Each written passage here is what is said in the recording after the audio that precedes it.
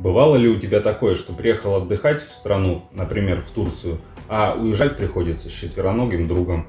Прибился ли он где на улице и пленил твое сердце, или где-то в приюте увиделся малыш, и уйти теперь без него не представляется возможным? Некоторые интересуются, как же вывести из Турции животное.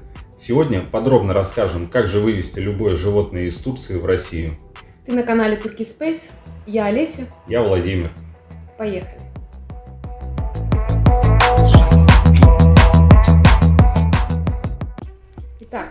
Для ввоза животного в Россию для содержания в домашних условиях не требуется его чипировать, что очень удобно. Озвучим тебе несколько шагов, которые необходимо сделать, чтобы вывести животное из Турции в Россию. Итак, сначала нужно оформить международный ветеринарный паспорт. В нем должны стоять отметки от проведения вакцинации, которые вносит ветеринар в ветеринарной клинике. Лучше всего это делать в государственной клинике. Их в Турции очень много. Просто вбей в Google государственные клиники, и он выдаст э, ближайшую к тебе. В паспорте должны быть следующие отметки.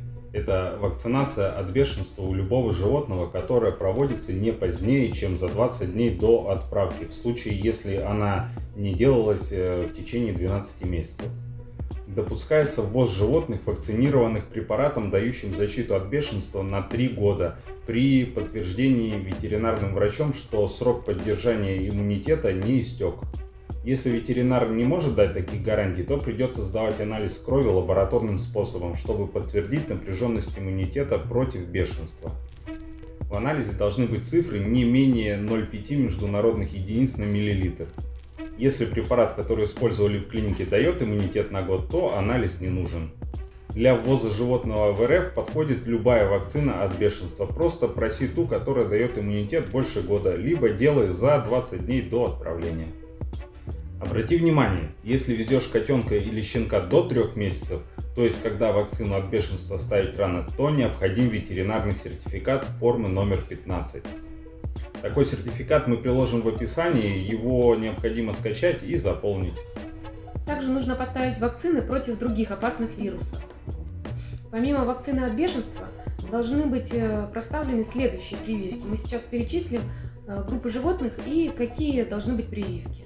Лисицам и песцам нужно поставить против чумы плотоядных, норкам и хорькам против чумы плотоядных, вирусного энтерита и псевдомоноза, нутриям против пастерелеза, собакам против чумы плотоядных, гепатита, парвовирусных инфекций, аденовирусных инфекций, лептоспироза, если пес не был вакцинирован прививками, которые ставятся именно в Турции и дают защиту от всех перечисленных вирусов одновременно. То есть бывают такие комбинированные вакцины, которые одним уколом защищают сразу от нескольких вирусов.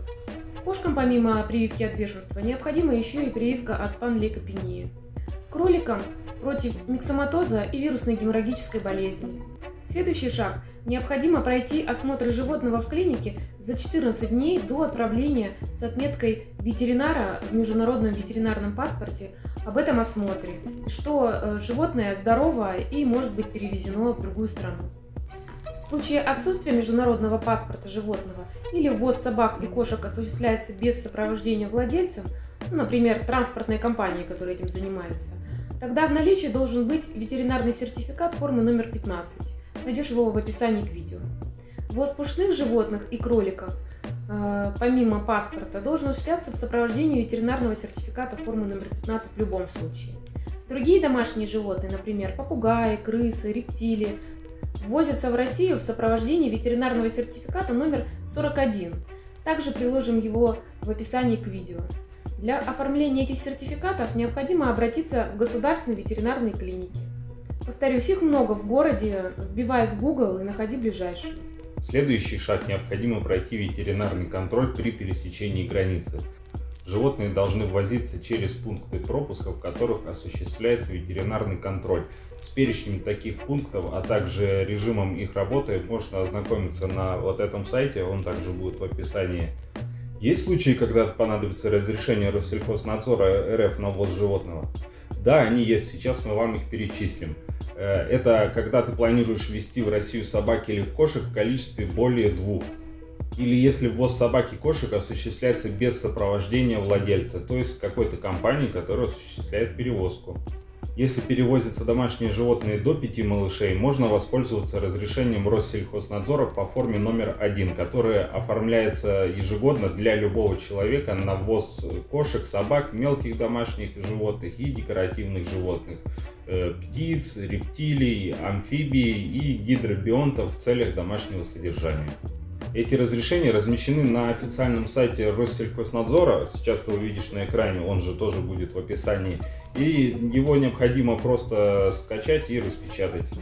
Для оформления разрешения официальный сайт Россельхознадзора предлагает воспользоваться автоматизированной системой Argus, предварительно ознакомившись с процедурой подключения и инструкцией э, по порядку оформления этих документов, размещенной у них на сайте. Сайт ты видишь перед собой, а также он будет в описании.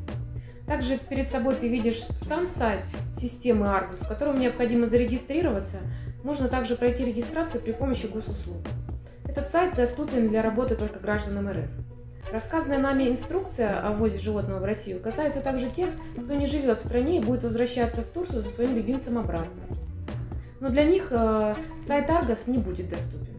Чтобы вернуться домой из РФ, в свою страну, например, в Турцию, просто бери своего друга с паспортом и едь домой, ничего не требуется. Ввоз экзотических и редких животных, если питомец входит в список CITES, требуется разрешение этого органа. Вот здесь на сайте ты найдешь список таких животных. Ну вот и, пожалуй, вся незамысловатая инструкция, как ввести животное в Россию. Как видишь, возить в Россию животное не так сложно, как, например, в другие страны, особенно европейские. Даже в ту же самую Турцию требуется гораздо больше э, различных деталей соблюсти, особенно выбирать э, определенного вида прививки. И обязательно чипирование, конечно. Россия в этом плане не требовательна. Подписывайся на канал, пиши комментарии, если тебе что-то непонятно. Мы на все вопросы ответим. А также ставь пальцы вверх, чтобы как можно больше людей увидело это видео. Подняли, обняли и немножечко хрустнули, чтобы было приятно. До свидания. Всем пока.